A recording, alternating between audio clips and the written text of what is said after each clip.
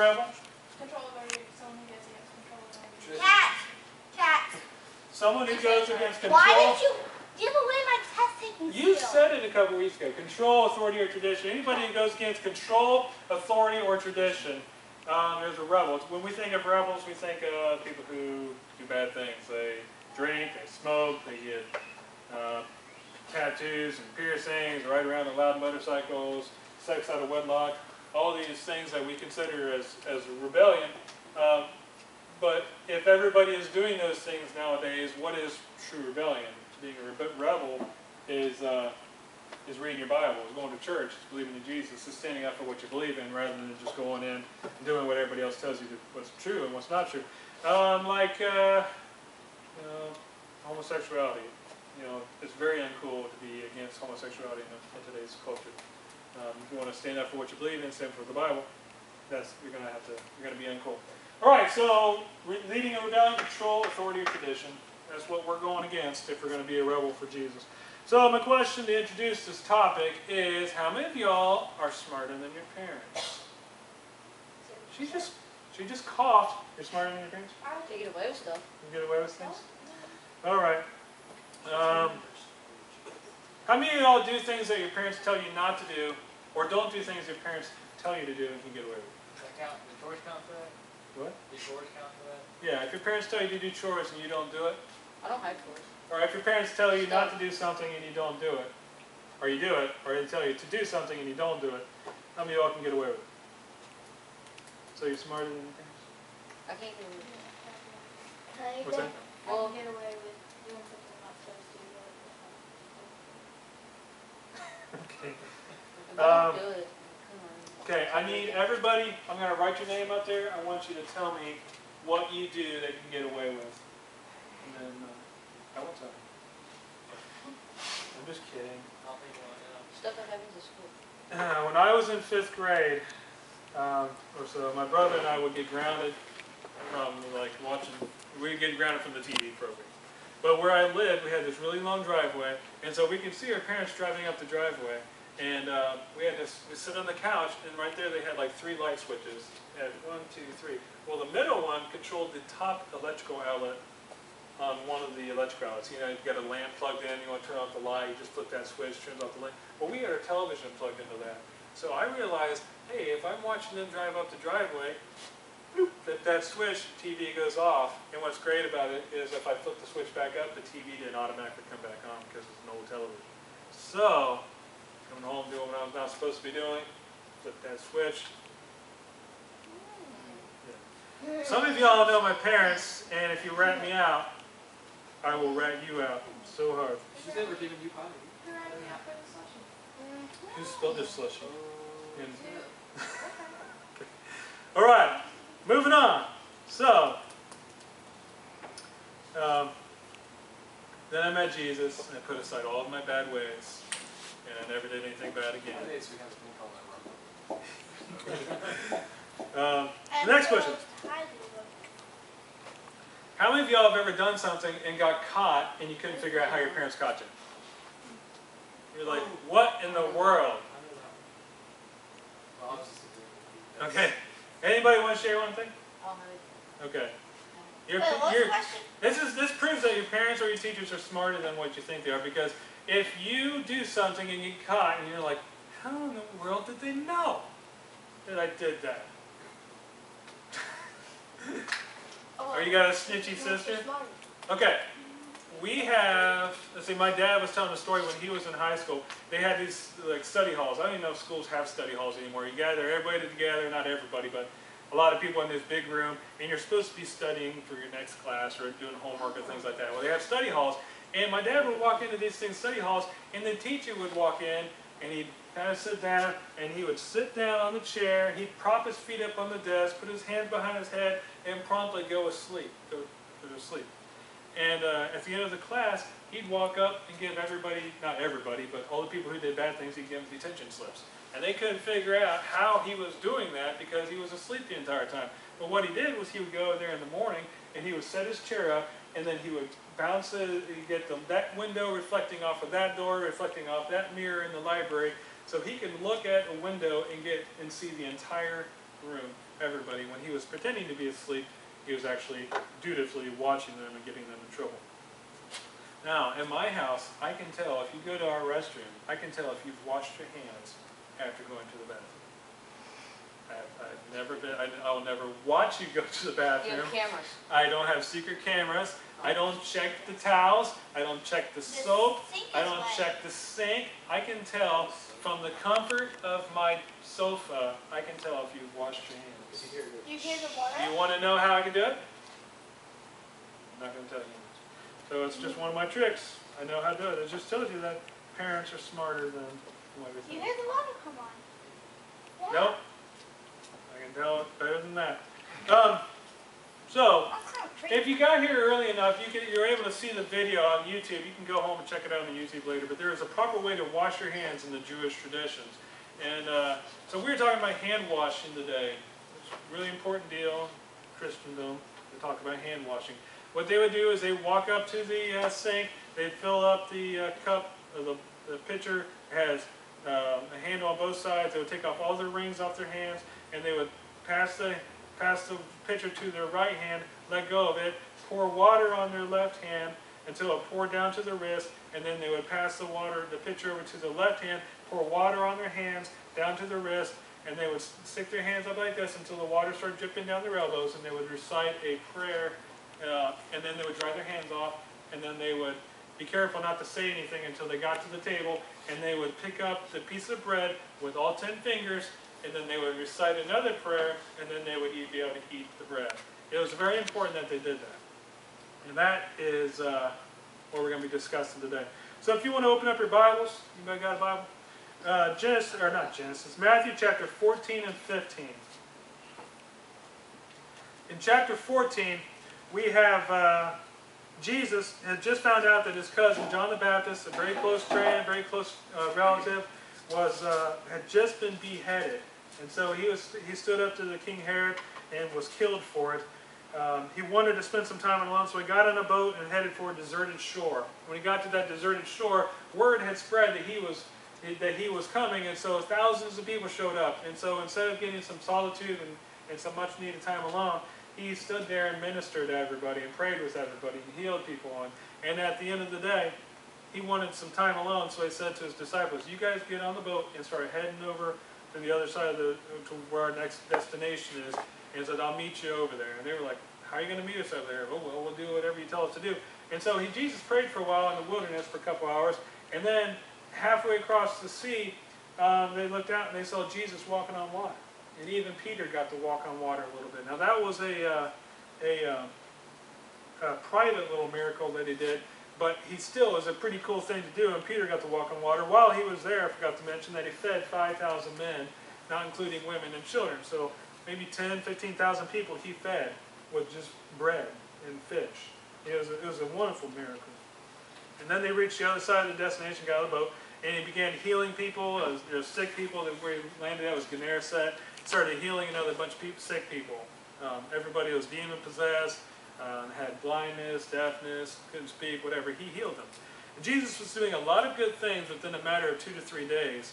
And despite having a, a heavy heart, uh, he was still doing all those things. And then the scribes and the Pharisees showed up. And the scribes and the Pharisees were like the holy party poopers. And that's where we're going to get going in today. Matthew chapter 15, 1 and 2. Michaela, can you read that for us? Then some Pharisees and teachers of the law came to Jesus from Jerusalem and asked, Why do you why do your disciples break the tradition of the elders? They don't wash their hands before they eat. So after all the things that Jesus did and went through the last couple of days, it was the hand washing that ticked them off. He fed 5,000 people, and uh, he fed 5,000 people. He walked on water. He healed and, and ministered to everybody, but it was the hand washing that ticked him off. Yeah, it's okay. so it's uh, so it was a hand washing. So why was the big deal about the hand washing? Well, Jesus rebelled against the religious religious culture of the day because all the rules and the traditions that they gave that they had. Moses had the Ten Commandments um, given to him by God. God God was on a mountain. He said, "I want to meet with Moses. Come on up here." Moses went up there. He got the Ten Commandments chiseled on on a stone for him. Had ten basic rules. And then after that, there were some more basic rules added onto it, but it was the Ten Commandments that everybody knows and, and holds dear. But um, and what the religious leaders did was they're like, we have these Ten Commandments here, and in order to not break those Ten Commandments, we want to we want to add these other rules. And so they added rules so you would not break those commandments. So if you broke one of these rules, you're getting close to breaking one of the Ten Commandments. So they set up like a think about it, if you have something that's really precious to you, like a, a painting or a statue or something in your yard that you want to keep that's beautiful, or a tree or something like that, and you want to keep it. So you want to keep it nice. So you put a fence around it so you can protect it. But then you're like, you know, that neighbor kid, he could kick a ball over that fence. I'm going to build a taller one, and I'm going to put a roof on there. And then you're like, well, he can still kind of see it, and someone could could could look into and stick a little whatever, some poison or whatever, and shoot some poison on my tree, whatever. And so they build another fence around it, and then they build another fence and another fence and another fence and another fence until eventually you can't even see the, ten, the, the most precious, beautiful saying in this story is the Ten Commandments. Um, they had so many rules. By the time Jesus was around, they had like some 5,000 rules and traditions in order to not break the Ten Commandments. For instance, uh, one of the Ten Commandments says, keep the Sabbath day holy. What does that mean? Sabbath day is Saturday. How are we to keep it holy? Can you work on Saturday? If you can't work, what constitutes work? Can you cook food for your kids on Saturday? No. Can you reheat food No. on Saturday? Could you walk? Well, certainly not. Can you, uh, can you throw a ball in your hands? These are all things that needed to be clarified in order so you would not break in that, that keep the Sabbath day holy. Um, it says honor your father and mother. How do you honor your father and your mother? How do you, uh, and so you, you kind of get the idea that they built all these fences around to protect this, and they got to the point where they were so so interested in, in keeping these rules and regulations like hand washing. There's no th- nothing in the Bible about proper hand washing, but they got ticked off at Jesus because he wasn't washing his hands properly. So there's nothing in the Bible about hand washing, but it was one of these rules and regulations and traditions that they established to keep from breaking these Ten Commandments. That they would rather have you break, almost rather have you break one of the Ten Commandments than break one of these religious rules. And so we had Jesus' answer in Matthew 15, 3 through 9. He answered them, And why do you break the commandment? Because if you remember, Jesus was just challenged, Why do your friends not wash their hands? And Jesus said, Why do you break the commandment of God for the sake of your tradition? For God commanded, Honor your father and your mother, and whoever reviles father or mother must surely die. But you say, If anyone tells his father or mother, What you would have gained from me is given to God, he need not honor his father. So for the sake of your tradition, you have made void the word of God. You hypocrites! Well did Isaiah prophesy of you when he said, This people honors me with their lips, but their heart is far from me. In vain do they worship me, teaching as doctrines the commandments of men. If you have a choice between breaking a commandment of God or breaking a law or a tradition of man, which would you rather do? I'd rather break the law of man, but they're making it so hard that they're like, you have to obey these, even if it goes against God. And what these people were talking about is an act of Corban. It's a Hebrew word. Uh, if, if um, let's say you have a million dollars, and your parents are getting kind of elderly, and you're supposed to be honoring your father and your mother. They raised you, so now it's your turn to help um, take care of them in their elder, elderly years. But you say, hey, I donated, this is a gift to God. My million dollars that I have is a gift to God. I'm not allowed spending it on anybody but God. And what happens is that person can now live the rest of his life dwindling that million dollars down to nothing if he wants to, as long as he's spending it on himself. And then when he dies, whatever's left goes to the temple. Rather than taking care of his mom and his dad and other, other people. Do you guys think that that really honors your father and mother? Do you think that that really honors God? I could be giving this gift to my parents who helped me when I was in need, but no, I'm not going to help them. I'm just going to keep it for myself, and then when I die, I'm going to give it to the temple, and I'm not going to help anybody. That's not honoring to God. That's what they did. Now, these were rules and traditions that, that man made that dishonored God. They honored man and dishonored God. And let's keep moving. Matthew chapter 15, 10 through 20. after he, after they asked him, why do your disciples not wash their hands? And he asked them a question. Hold on one second.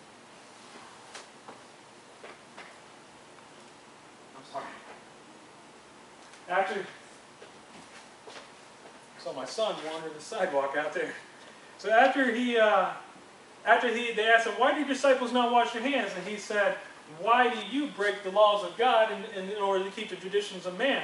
And, uh, and, then, and then he went on after they, the scribes and the Pharisees got real ticked. Then he gathered everybody together and said, hey, listen up, I got something I want to tell you.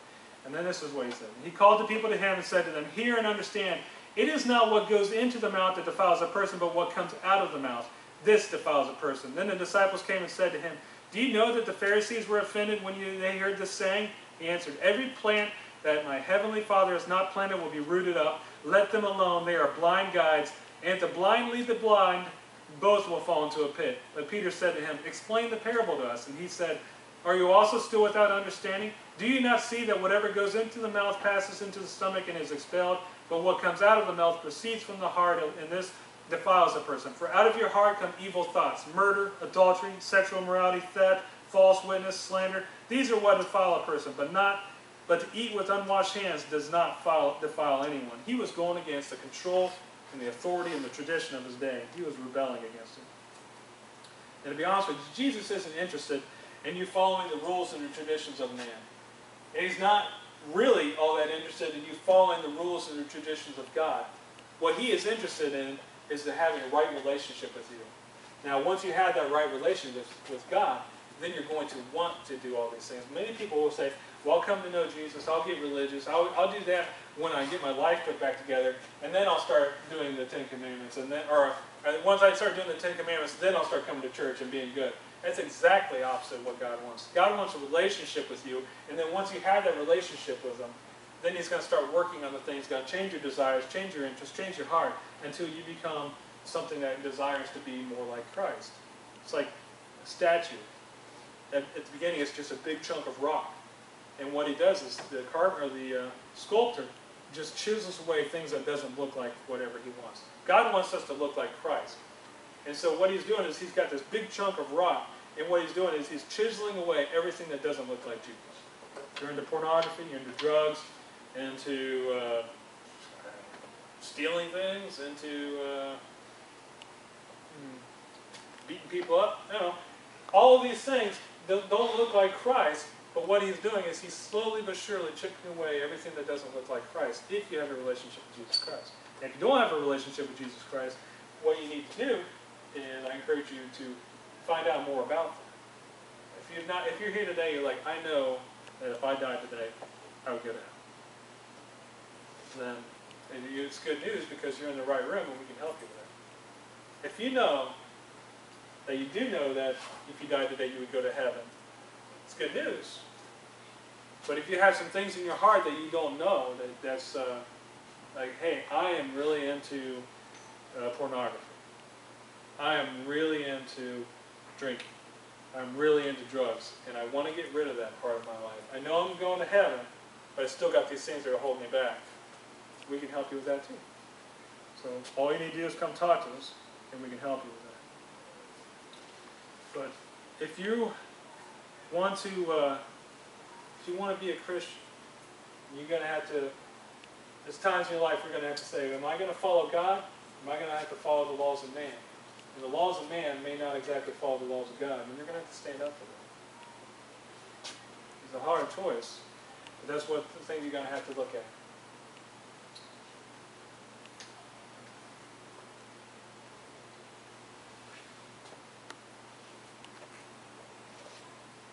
But let's pray. I, uh, if you have any questions about tonight, if you have any questions about, man, I just, I just feel like there's something missing in my life. I don't know if I'm going to go to heaven when I die. Please come talk. Or if you're feeling, yeah, I do know I got to go to heaven, but isn't there more life than just knowing that I'm going to go someplace when I die? Then come talk to me about that too. We can help you. Jesus didn't come down to earth to. Uh, Jesus didn't come to earth to encourage people who are already keeping the law. Hey, you're doing a great job, just keep it up. Jesus came down to earth because we couldn't keep the law, and we needed something better. He needed, we needed to We needed a sacrifice. He needed to die in order for us to go to heaven. When Jesus came from earth, think about this. When Jesus came to earth, he went from heaven to earth. Everything that's great about heaven was just that much taken away from him when Jesus came down here. God bankrupted heaven to give us Jesus. God cracked the piggy bank of heaven to give us Jesus. And we can't go to heaven without him, no matter how many good works we do, no matter how many laws we make, and no matter how many laws we keep. We can't, we can't be good enough to go to heaven. So let's pray. Father, we love you. We thank you for just this time that we get to gather together. And Lord, I just pray that my words are clear tonight, that I was speaking for you and not for myself. And I just ask you to bless every single person in this room. And I pray that everybody will know tonight whether or not they're going to go to heaven. I just ask a blessing on it. In Jesus' name.